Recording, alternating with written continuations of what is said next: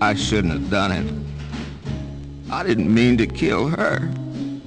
All I wanted to do was talk to her and tell her. I just come up from the bar downstairs and I find out all they've been saying is true. I, I just lost my head. I didn't mean to kill her, but I meant to kill him, Mr. High and Mighty himself. Thinks he can take a man's woman. I'm glad he's dead. The bullet went right through him. And and now she's gone. She looks so different somehow. I gotta have a cigarette.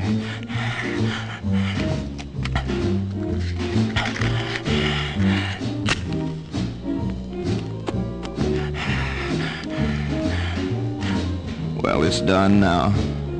She'll never cheat on me again.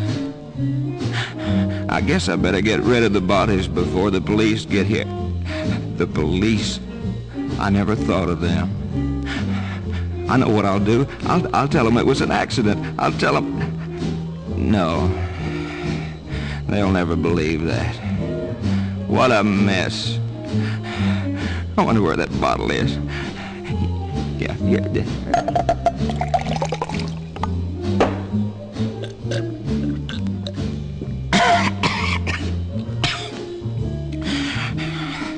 I guess I could run.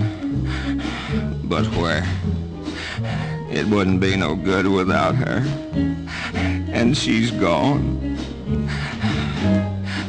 Well, I might as well get it over with.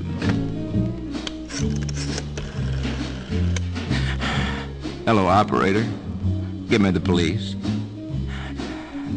Hello, police. I'd like to report a murder. Ed's place. Yeah. I'll meet you downstairs in the bar.